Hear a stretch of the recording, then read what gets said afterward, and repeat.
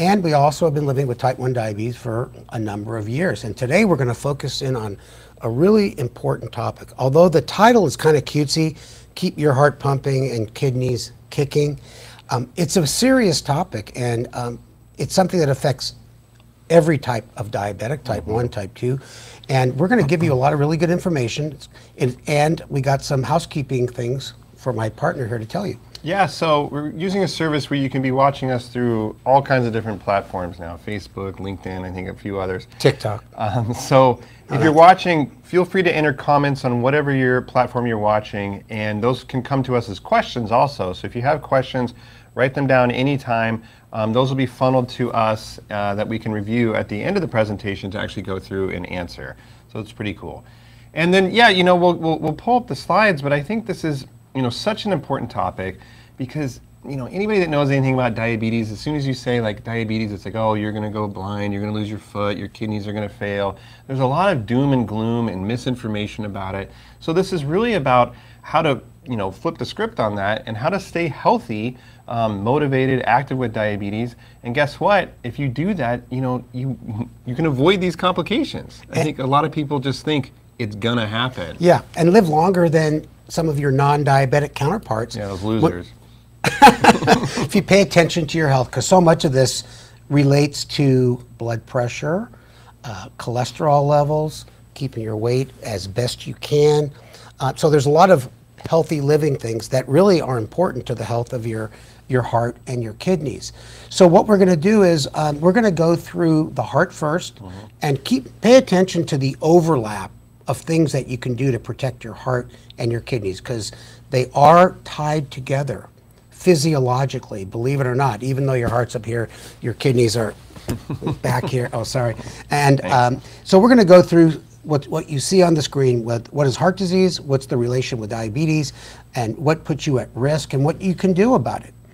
Okay. Now, this, whoops, okay, a little slow changer here. This is a picture of the heart. And I, you can see those arrows. Um, and Jeremy is closer to his internal medicine training than I am, but I put the large arteries on there. And what are these arteries for? To bring blood to your heart, all the muscles of your heart, which I'll show you in a second. And like you talk about the left anterior descending, the LAD. Now, why do they call that the widowmaker? Yeah, I mean, that's the one that, you know, if that artery gets blocked, it, since it provides a lot of blood and oxygen to a major part of the heart, if that artery gets blocked, that, that can be really fatal. Yeah, and this is a picture uh, of an artery on the bottom. You can see where that big blue arrow is. That part of the opening is clogged off by plaque. Years of high cholesterol, especially LDL, uh, and also, uh, high blood pressure can actually cause hardening of the arteries. And once that uh, opening gets so small, you prevent blood from going where it's supposed to go. Yeah, I think, you know, explaining to people actually what a heart attack is. So, you know, we always think, like you said, that we, we think about the heart pumping blood to the rest of the body, but it also has to pump blood to itself. You know, it's a big muscle. And it's just those arteries that you showed that, that, that perfuse the heart with blood. And again, if one of those becomes blocked, you become, you know, in a lot of trouble.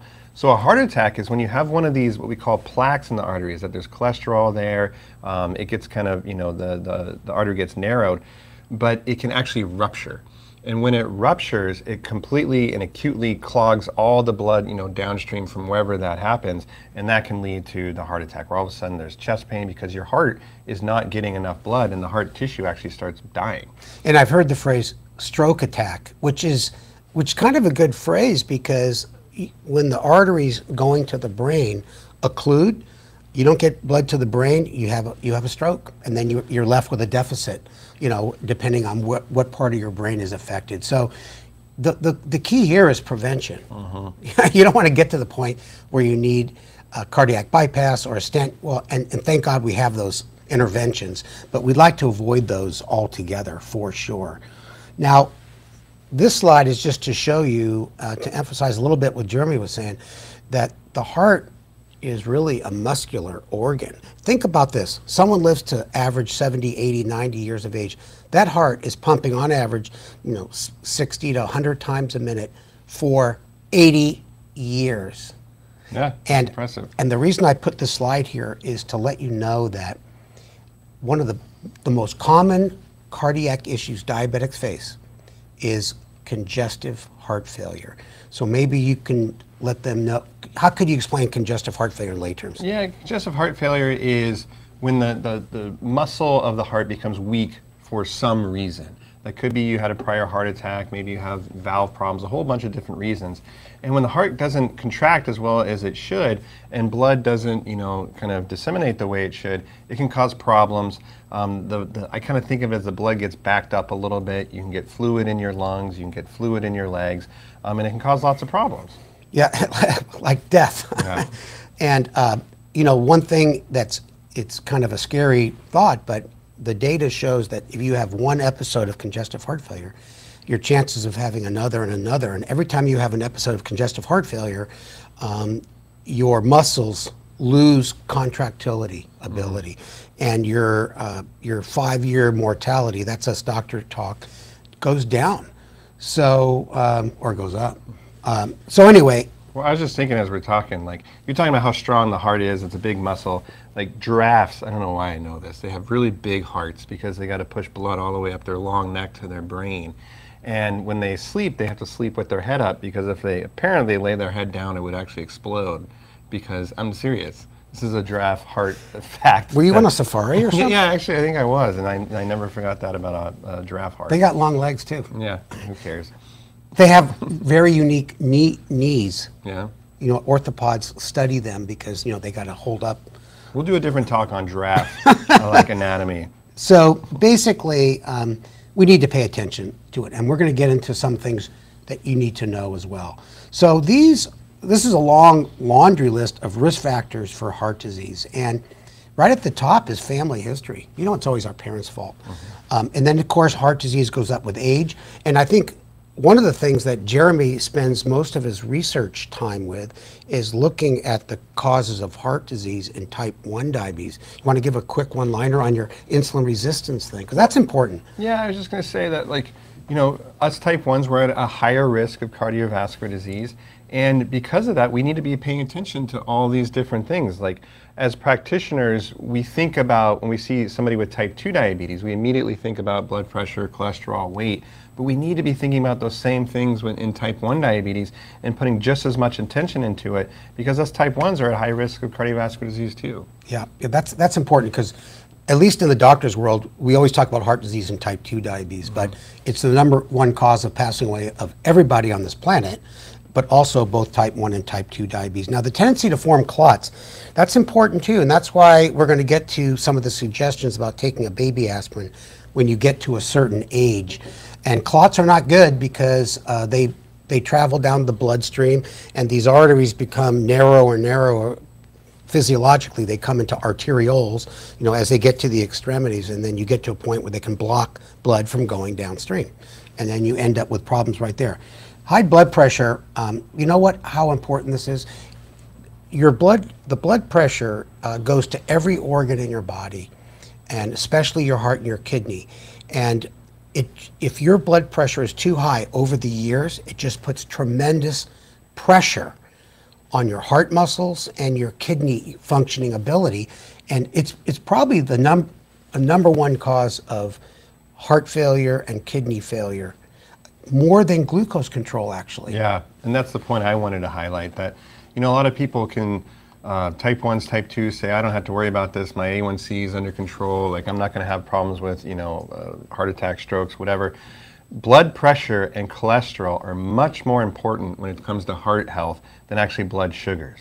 It doesn't mean forget about your blood sugar. Blood sugar control is extremely important, but blood sugar control is more important for what we call microvascular complications, your eyes, your feet, your kidneys. But when it comes to your heart, yeah. it's really about blood pressure and cholesterol. So please don't ignore it. Put as much attention to that as you do your blood sugars. And we're going to get to it later, but I'm just going to say it now.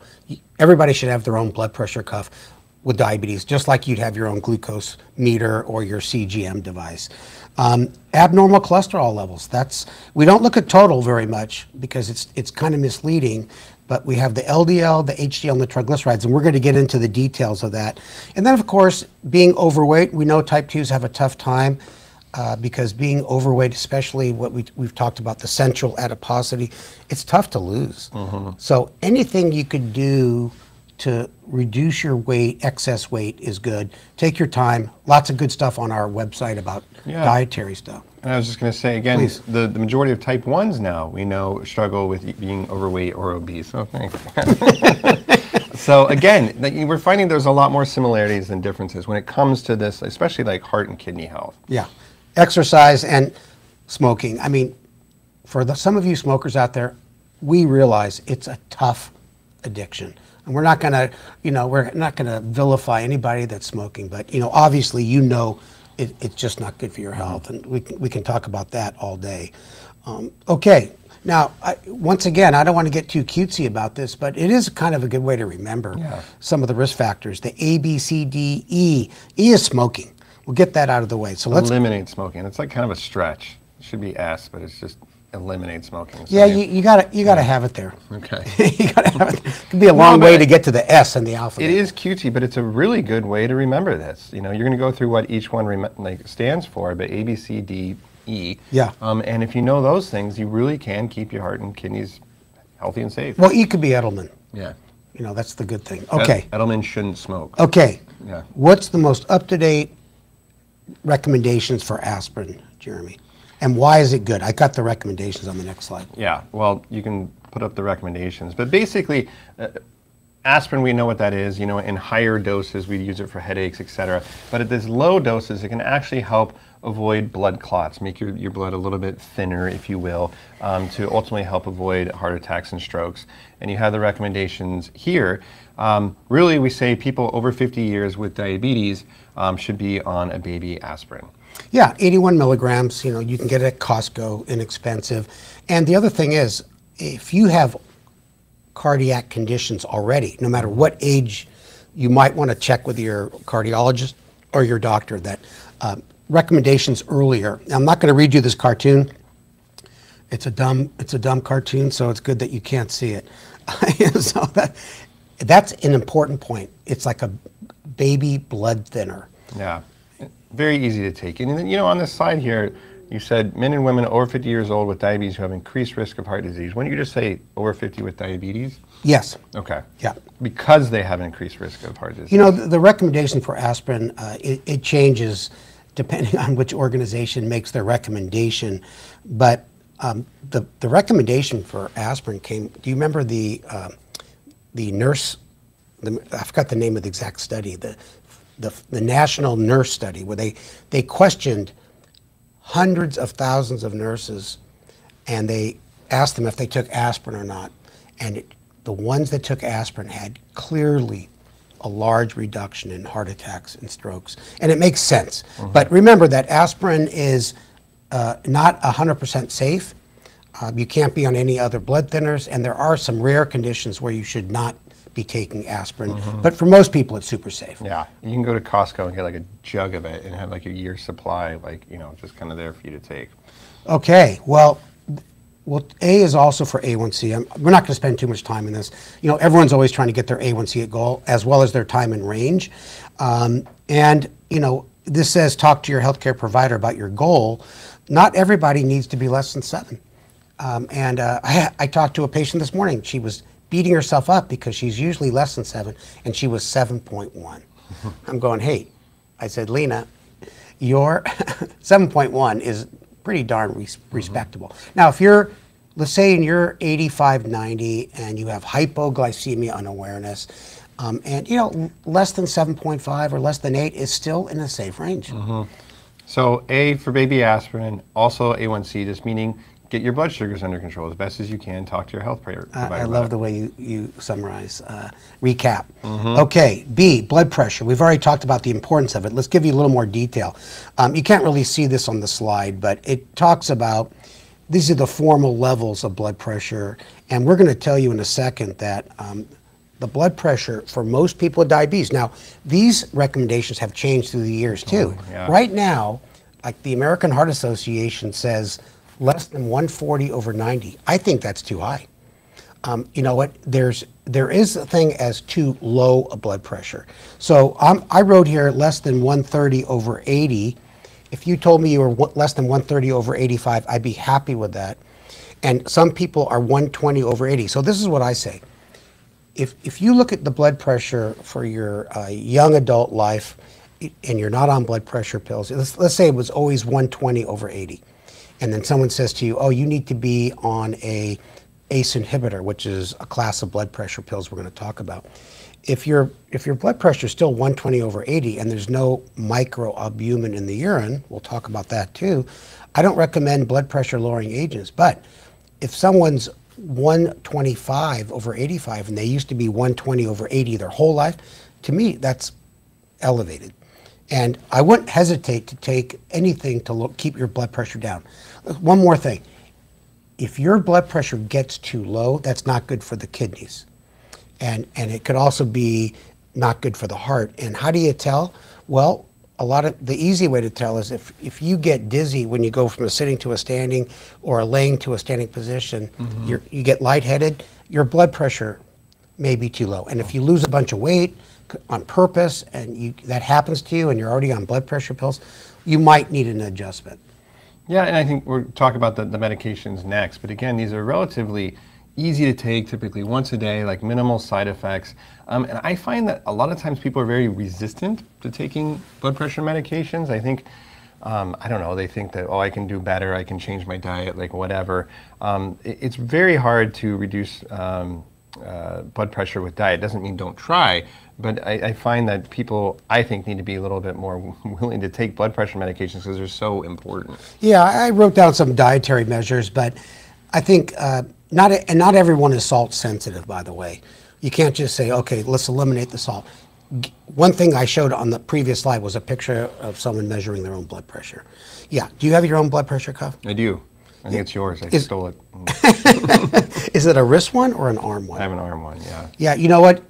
You really need to get a good uh, blood pressure cuff. If you have big arms like my like me and Jeremy, you need to make sure the cuff size is big enough. Seriously, and uh, you have to make sure it's done right. You have, to read the instructions. Yeah. You know, need, you're, it has to be at the level of the heart, and blood pressure changes like airline prices and rent a car prices. So multiple measurements are important, and it's way more important than when you go to the doctor's office.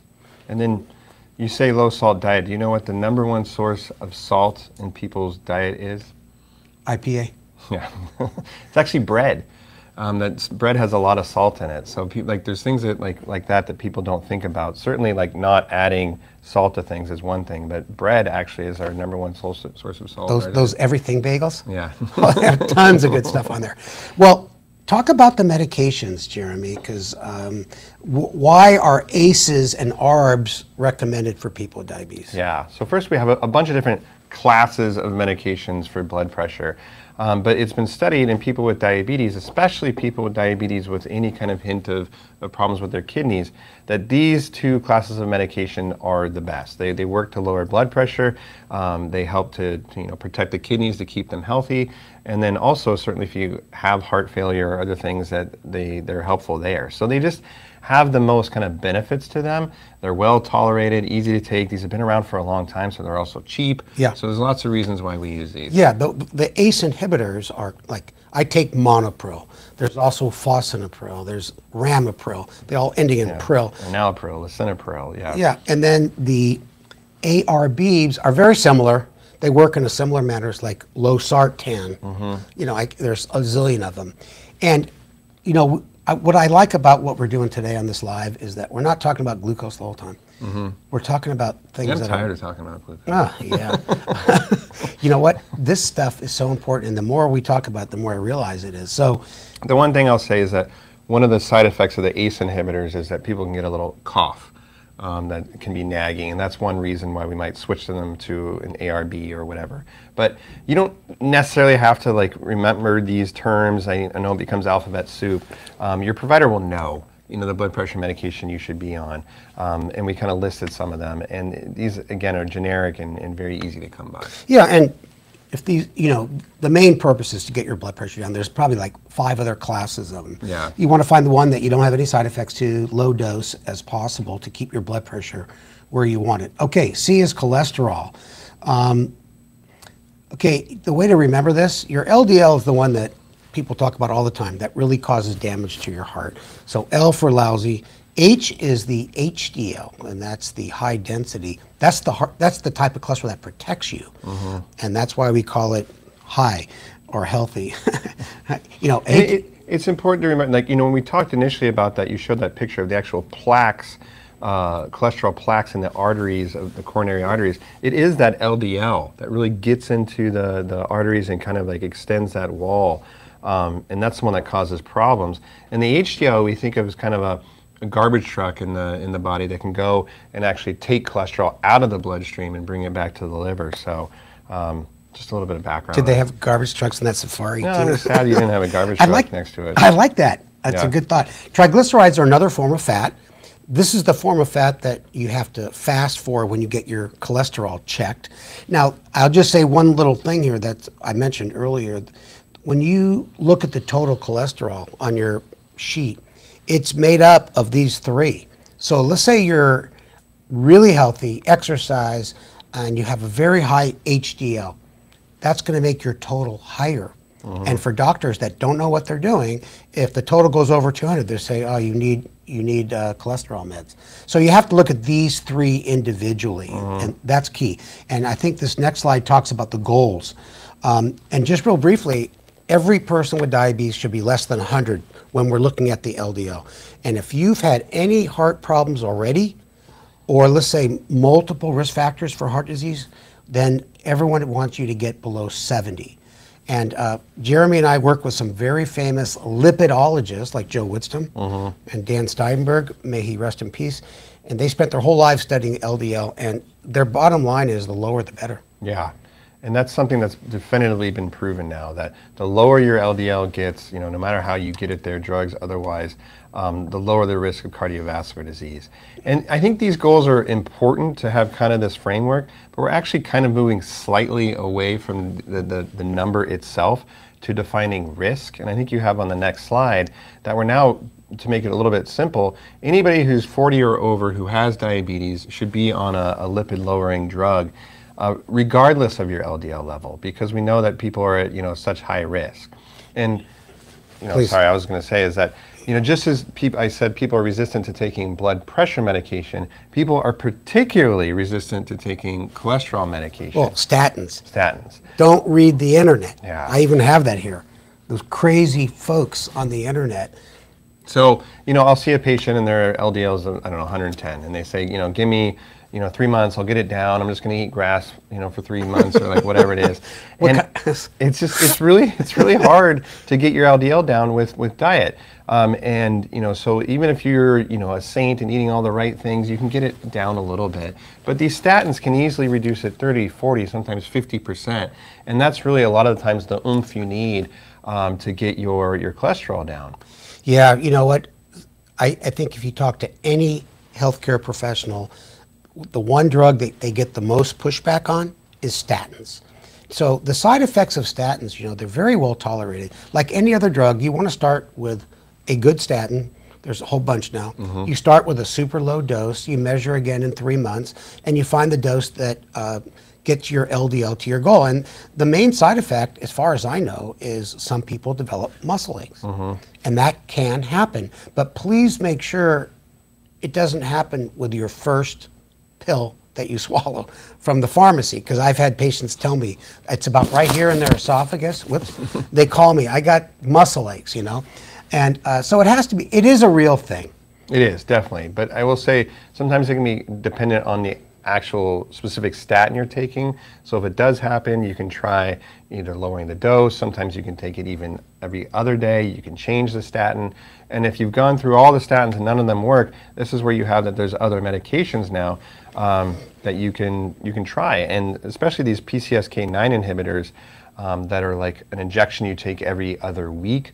Um, they're very, very efficacious. We're using them more and more. So if you've had problems with statins and kind of just felt like, well, my cholesterol is what it is now, like you need to revisit this and either try a statin or some of these other medications because there's a lot of options now. Yeah, there's an older one called Zetia. It's not the most potent, but there's no side effects. And also, uh, there's a new one out there called Nexletol. It's a completely different mechanism of action, And all of these medications, the newer ones are the more expensive ones. And usually the indication is they have failed statin therapy. Either you're on a statin, the maximum dose, and your LDL is not at your goal, or you develop side effects. And your doctor probably will have to fill out what we call a prior authorization. Um, but it's worthwhile. Yeah. And the good news is once you get this squared away, you're kind of good. You know, you get on your, your statin or your PCSK9, whatever, and you kind of leave it alone. Um, and again, like I say, we always like pour over the blood sugars and should we do this, should we do that? Just make sure you've dedicated some time to addressing this and then get your cholesterol locked down and then you kind of don't have to think about it. Yeah, the most common cause of passing away uh, for people with diabetes is heart disease. So don't forget that. And you know, the other thing I'm going to mention when uh, Jeremy and I are going to do a podcast on the diabetes warranty program, and it's going to cover some of this information. But if you think about it, high blood pressure, not the kind that gives you nosebleeds, but just high, and also problems with cholesterol, they do not cause any symptoms. That's why people can go 10, 20, 30 years of high blood pressure, abnormal cholesterol, and just end up crumping with a heart attack, stroke, et cetera, kidney failure. So remember, these conditions are asymptomatic. Um, okay, we're, I'm, I'm Cruising. stoked. Yeah, we got, I think a little recap here. Aspirin, A1C, blood pressure, cholesterol. Okay, I'm up, I'm up to speed. Diabetes drugs. Okay, Well, that- set that up. What do you mean by that? diabetes drugs, um, you know, it, in the olden days, in fact, you saw the three little blocks that say ABC, like kindergarten. There's no There D. wasn't a D. Because there, it wasn't until just the last couple of years that we realized a lot of these drugs we use for diabetes actually improve the health of the heart and prevent heart problems. It's a whole new area. In, independent of their blood sugar effects. That these have specific effects on helping the kidneys and the heart, and we say this all the time. That now we're using some of these medications, even in people that don't have diabetes, uh, because of their specific effects on the heart and kidneys. Yeah. Now here's the here's the alphabet soup, but GLP-1 receptor agonist. You see how clearly I say that? No. When you get- GLP-1. So you're all seen commercials. I guess Victoza was one of the older once daily, but you see probably a lot of commercials with Ozempic. How's the and- song go? Oh, whoa, whoa. and then there's Trulicity. These are once weekly. Okay, they're impressive at bringing the glucose down. Um, they also ha- reduce weight, which is really important for people. And these drugs are approved for type 2 diabetes, but we'll talk about that a little bit later. And very importantly, you know, they have been shown and proven by large studies called cardiovascular outcome trials to reduce heart attacks and strokes. Okay, you talk about the SGLT2 inhibitors. Yeah, please. so you know, one of the, so the GLP ones, I think you said they're injections, and um, these SGLT2 inhibitors are actually once a day pills. Um, and the way that they work is they actually make you pee out a little sugar, so people's blood sugars come down, they lose some weight, and the data in terms of preventing heart failure, strokes, um, and preserving kidney function has just been overwhelming. And so these are the drugs that I mentioned that in anybody with kidney problems now we're using, diabetes or not, anybody with heart failure we're using, diabetes or not. So I actually believe that if you have type 2 diabetes, you should, like, period, you should be on these two drugs. But especially if you have any heart or kidney issues, you absolutely need to be on these medications. So a lot of these have been around for a long time now. So again, like, you know, there's a lot of new data, but these aren't like something that just came out yesterday that we're waiting to see how Yeah. they work. We know a lot about these drugs, we know about their side effects or whatever. So if you're not on these medications, you definitely should ask. Yeah, I, I should like, emphasize something that Jeremy just said. The American Diabetes Association gives out guidelines for doctors, and they say that um, you should use one of these two medications if there's presence of heart disease or kidney disease already, irregardless of the A1C. So I just wrote a, a, a question for doctors, a trick question. I, I described a patient with an A1C of 6.9, but I think she had a heart attack and she, she was on a bunch of diabetes meds, but she wasn't on one of these. And I said, what would you do next? And- one of them was do nothing, A1C is good. The other one was add SGLT2 inhibitor. That was the right answer. So it's important that you know that as a person living with diabetes. And we know that there's a big uh, issue with access. So um, there are ways to get these medications, and we're not going to spend too much time now. But we, we're going to have a new uh, area on our website uh, in October of this year, 2022, about access. Cool. So we know that can be frustrating for a lot of people because we get feedback that we talk about all these great drugs, but they can't get it. Did you know that irregardless is not a word? It's just regardless. So like I got draft facts and little like grammatical No, the- facts. the all- garbage truck too. Yeah, garbage truck. That's all I'm good for.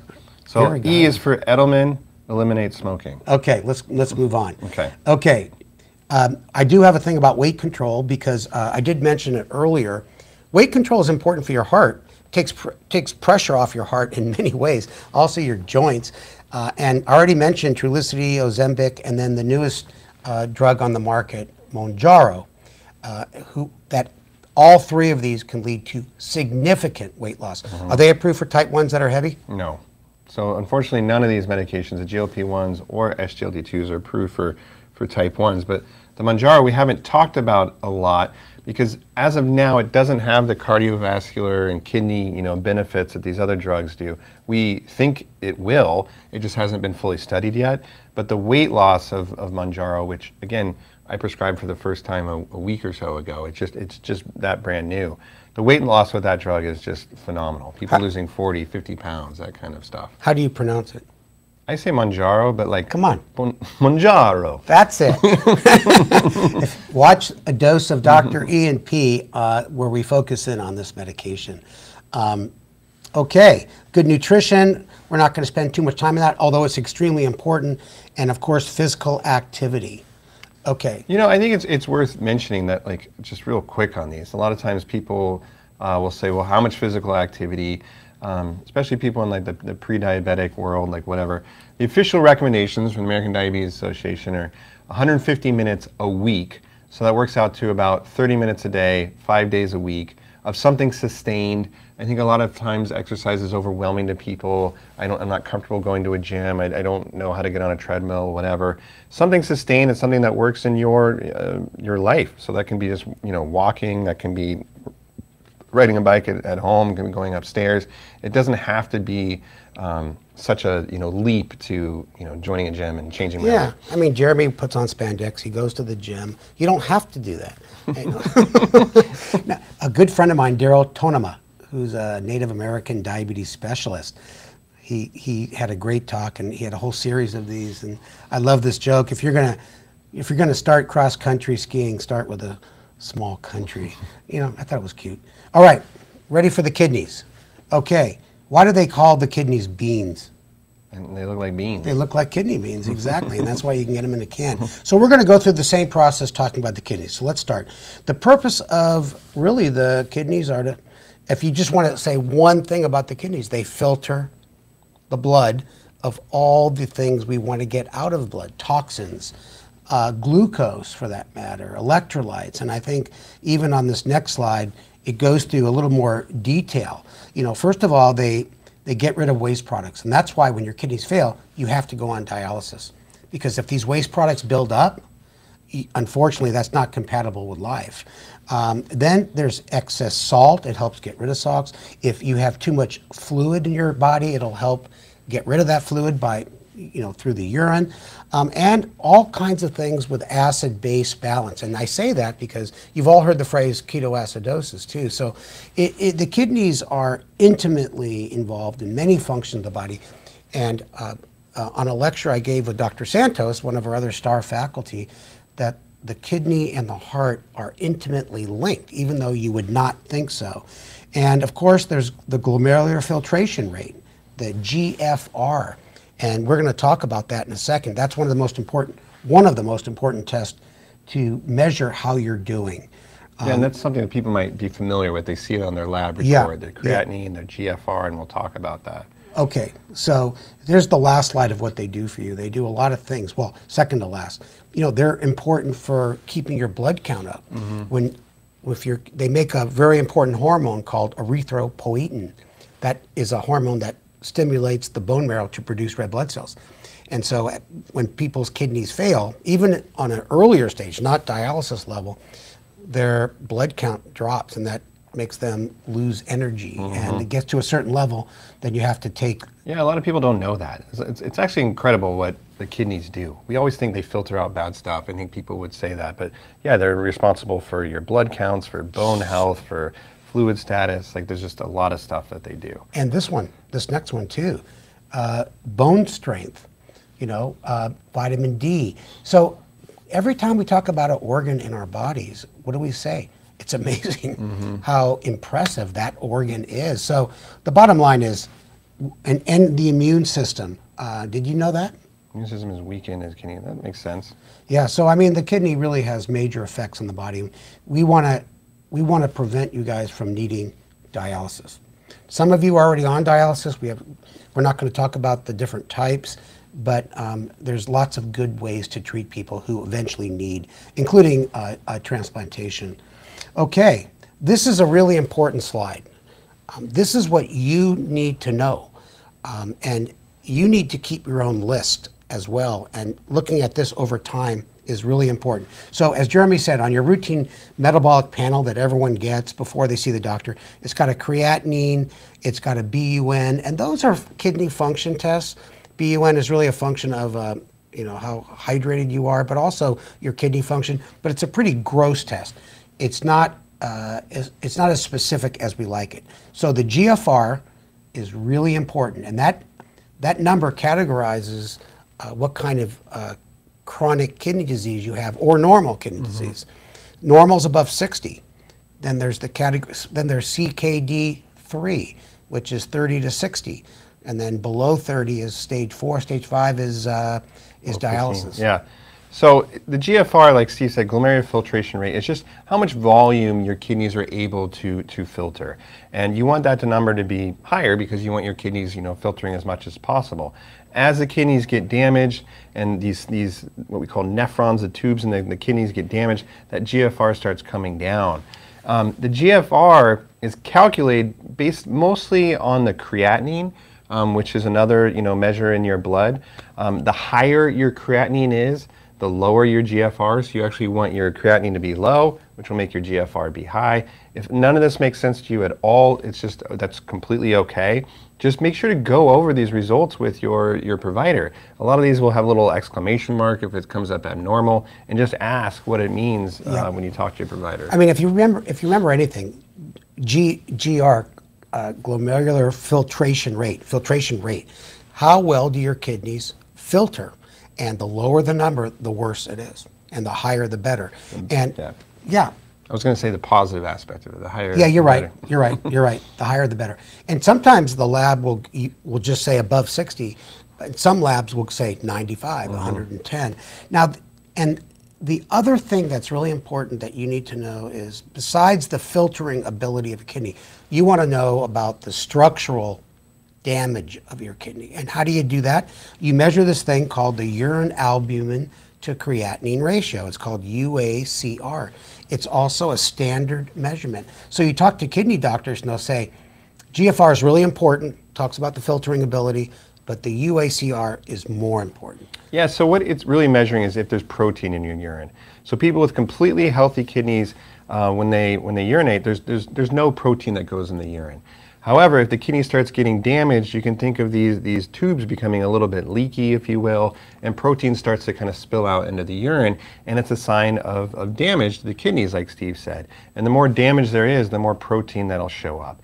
So this urine to albumin microalbumin ratio um, will be calculated when you provide a urine sample, and you just want that to be less than 30. Yeah, and this is important for you to know because some doctors don't even know enough to order this.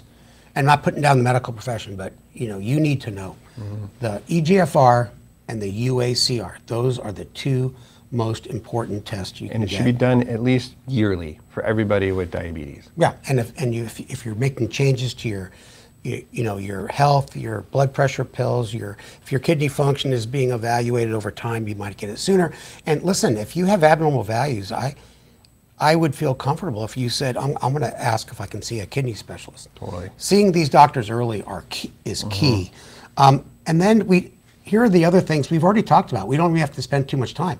We've already talked about blood pressure control uh, and gl- blood glucose control. And the thing that we should mention down here at the bottom which is very important, is the SGLT2 inhibitors and a new medication called Kerendia. These are two medications. They work completely different. They've been proven and, and approved by the FDA to reduce the progression of people with chronic kidney disease. And uh, Farxiga also did a, did a large study with people with and without diabetes. Their, their GFR was around 35. So that's chronic kidney disease for sure. And it clearly showed compared to the fake pill, the placebo, they had a much slower reduction in kidney function over time. I mean, like very much better. So, um, and c- same with Kerendia. The only thing I wanted to point out here about blood sugar control is that this isn't binary, like you're doing good if your A1C is less than 7 and you're doing bad if it's above 7. Any improvement you make in your A1C reduces your complications, specifically with kidney disease. So if you have an A1C of 12 and you want to get it, you know, down, going from 12 to 11 is very, very helpful. 11 to 10, etc. Yeah. And yeah, we want to ultimately try to get you to 7, um, but any improvement matters. And specifically, every reduction in A1C of about 1%, going from 12 to 11, reduces your risk of, of complications by about 30%. That's So amazing a- you know that. It's That's a big so deal. old data. Yeah. Well, That's that's amazing. giraffes, regardless, and that fact. You know, and I think your your point's well taken. That damage to your kidneys uh, doesn't happen overnight, and it takes time. So it, it's not a sprint; it's a marathon. And don't don't panic if your blood sugar's high for even a couple of years. You know, you you can you always work from this day forward. Yeah.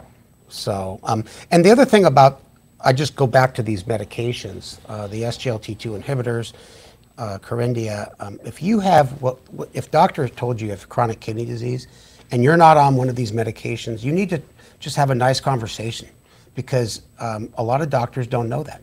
I know I'm putting down the medical profession, but um, one thing we do at TCOYD, the, the the reason why we started this organization is taking control of your diabetes that to make sure nothing's forgotten by your healthcare professionals.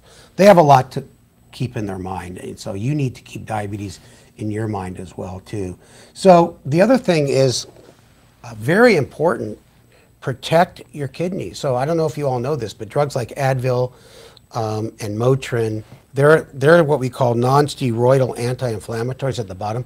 Now, for most people with normal kidney function, it's not a big deal at all. You just don't want to overdose in them. But if you have kidney problems, any at all, you should try to avoid those. Stick with Tylenol as much as possible. Um, and then the other one is uh, dyes, like um, when they give you radiographic dye for an MRI. And, and if you need an MRI, if it's life threatening, they can use a lower amount of dye. They can hydrate you before and flush it out afterwards. But you need to let them know. I, you know what I have on my medical record? Hmm. I'm allergic to di- radiographic dyes. Am I? No. I just want to make sure that I don't get it if I'm unconscious. Hmm. Okay. How come you got that look on your face? No, I just I didn't know that. It's very rare I learn a new thing. Well, don't look you. at my record. That's HIPAA. Uh, okay. Well, recap. Okay. So heart pumping and kidneys kicking. And I think the over global message is that there's a lot of overlap. Control your blood sugars, your blood pressure, your you know, lipids, and you know uh, some of these things don't have to be so onerous and so much work. I think it's just being aware of it, knowing what the risks are, and kind of tackling them head on rather than this nebulous. I'm just going to die. I have diabetes. I have you know I'm like my heart's going to you know fail, etc. That's not true. Um, but the more you know energy you put into it, understanding your body, understanding the goals, you're going to do really well. And even if you have complications, you already have heart disease, kidney disease, it's never too late.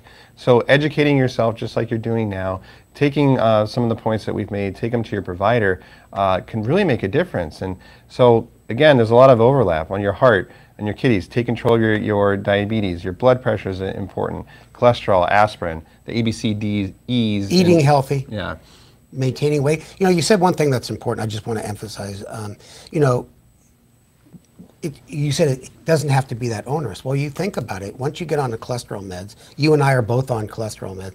Once you get to your goal, then things really don't change that much. And same with blood pressure. So, you know, I'd say keeping your glucose in range is always a constant deal, uh, but it doesn't have to be that onerous. And you just want to avoid problems in the future. So that's it. Keep your heart pumping and your kidneys kicking. All right. Well, I think with that, oh, we're going to switch over to um, some Q and A. um, which I have here. So this will be honestly like a surprise to us. We're just going to read some of these as they, they've come in. Um, all right, Steve, are there medications to help if one is diagnosed with chronic, chronic kidney disease? My doctor has only said watch salt intake. Yeah, well, I'll just repeat what we said briefly, but there definitely is. First of all, the ACEs and ARBs, those are the blood pressure pills that we spoke about. Those, all Jeremy said, those were proven 30 years ago to help protect the kidney, but only about one tenth as much as the ones we just spoke about. The SGLT2 inhibitors, such as Farxiga, and this newer medication uh, called Kerendia. It's a different mechanism. You can be on both together, and I have patients on both of those who have chronic kidney disease. All right. Um, how high is high for blood pressure? So I think, you know, in general, to give specific numbers, we like people with diabetes, if possible, to get their blood pressure below 130 over 80. Would you agree with that? Yeah, yeah, I would. I would. Um, so then, you know, if you're above that, then that's a time that you you might want to think about, you know, medications for it. Yeah, just remember, don't take one measurement. Yeah. Uh, get a cuff, measure it at different times of the day, not when you're going to the doctor's office. How much does a plant-based diet reduce your risk for heart disease? Yeah, you know what? I don't know the I don't know the percentage, but a plant-based diet is extremely healthy diet, and those people have a better blood pressure, better cholesterol levels, and better weight. Mm-hmm. So I, I can't give you specifics, but I'm a big believer in plant-based diets. You and I got sweatshirts Yeah. from our friend in the UK, and hopefully he's watching. Ian, And I think, you know, again, it still comes down to as long as these other things are, are dealt with. Like, if your blood pressure is high and your cholesterol is high, you know, don't assume just eating plant based is going to kind of take care of these things. If you want to go that route, absolutely. Um, but you still need to make sure these other things are, are taken care of. totally. So, um, how does high blood glucose contribute to the development of, of plaque? And I guess I'm thinking like coronary arterial plaques. And, you know, that's a good question. Like, you know, I don't know. Do you want to handle that? Yeah, well, I- I'm going to answer something else first about high glucose. High glucose uh, causes damage to the microvessels of the body. So it's a, you know, it, microvasculature, and there's microvasculature in the heart and the kidneys. And so that's one of the reasons why it also causes eye disease and nerve disease because there's microvasculature feeding blood to these organs as well. And I would say this that um, what you said earlier in the day, it may not be so much the glucose that causes heart disease. It's it's primarily cholesterol and blood pressure. Mm-hmm. But I'm sure there's some things that aren't good. And I know that people that have high blood sugar for many years end up with, with high calcium scores. We don't want to get into that too much because it's not written in stone if high calcium is, is the biggest risk factor. But I would say this: that is for the heart, it's cholesterol and blood pressure, mm-hmm. and being on a little blood thinner. In kidneys, we know that glucose damages the glomerulars. Yeah, and I think there's some thinking that people with diabetes that if they do have you know plaques in the artery, uh, that having diabetes might make those plaques a little bit more unstable and more prone to rupturing, rupturing which can increase the risk of, of, of, of heart attacks. Uh, but it's still there's areas of you know uncertainty there. Yeah. Um, does the number of years living with type If we 1 don't know the answer, it hasn't been studied fully yet. Does the number of, of years living with type 1 diabetes play into starting aspirin earlier than 50? So, what if you got type 1 when you were two and now you're 32? Yeah, that's a good question. I would say you'd have to look at your risk for heart disease, but just that fact alone probably um, does not. It probably doesn't mean that you need to take it sooner. However, you know what? If you feel being on a baby aspirin uh, uh, is healthier, you know, check with your caregiver, and I wouldn't have any problem. Someone 35 years old um, or older than that, take aspirin. So, this is along those lines. I was on an aspirin uh, and was told not to take it by my current endocrinologist. Any idea why? I'm type 1 for 18 years and over 80 years old. So, um, you mentioned that it does have some issues, and the, and the, the potential concern with aspirin, especially if you're on other blood thinners, is it can increase the risk of, of bleeding. So if you have a fall, hit your head, you know, maybe you could have a, a worse hemorrhage or, or gastrointestinal bleeding. If you have a lot of like uh, uh, reflux or problems with ulcers. So there are some reasons why you might not want to be on it. Yeah, you know, you have you, tell your doctor to give us a buzz.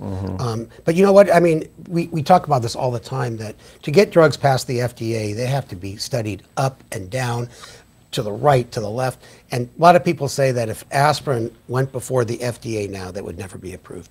You know, because you can have um, you can have stomach bleeding. That's why we do the baby aspirin, the enteric coated. So it's a it's a it's a medication that has saved lives, but like every medication does have side effects. Um, can you talk a little bit about sleep? I find that when I sleep poorly, my daily numbers go up. I'm guessing blood sugar numbers. And yeah, there's a lot of data now that about sleep, especially with sleep apnea, and people have interrupted sleep, that that can actually predispose people to, to heart disease, et cetera. That's something we actually didn't really talk about. But if you have obstructive sleep apnea, treating that can really help lower blood pressure, et cetera. um, so in terms of blood sugars, yeah, it's possible that when you're not sleeping as much, it can affect you know hormones, your anxiety level, adrenaline, all these kinds of things. So um, sleep is definitely important in, in, essentially everything. I think that's so true. Yeah. How many hours do you get? I, I don't. I, I'm lucky if I get eight, but I feel better when I do. Yeah. Yeah. Yeah. I'm, I'm like that too. Um, you said everyone over 40 who is diabetic should be on cholesterol drugs. My LDL is 67, HDL is 97. Could my cholesterol go too low on meds? So I'm going to take out the specifics of this question and just answer, could your, your cholesterol go too low? And the answer is really no. Um, that there's, there's no number that like I would be concerned that somebody's LDL is lower. So, you know, the, you mentioned Joe Witztum, who's, who's a lipidologist and used to do these talks where he would show like the LDL le- levels of, of other animals in the, the, animal kingdom, and lions like have an LDL of like yeah, giraffes are probably on there, but lions have an LDL of like eight, you know, and and, and by the way, as we age, our LDL goes up. So when you're really young, your, your LDL levels are, are lower and they go up with age. So no, it can't go too low. Yeah, it's a great question because mm-hmm. you might think you need it for other hormones, but no, the answer is no. Um, I have normal to low blood pressure, diagnosed with chronic kidney disease in March, and I was put on losartan. I don't feel right when my systolic blood pressure is below 100 or diastolic is below this. I just changed when I take losartan. It doesn't help. Nephrologist suggested taking losartan. Okay. Um, sounds like having problems with blood pressure going too low. Any ideas or suggestions for me? So I have one suggestion. Yeah. Ask your doctor uh, if you can get a 24-hour blood pressure monitoring device, so you can really uh, quantitate your blood, your your mean blood pressure during the day, at night, and then um, have a little book that they give you to put your symptoms on it. But your your problem seems very um, specific to you.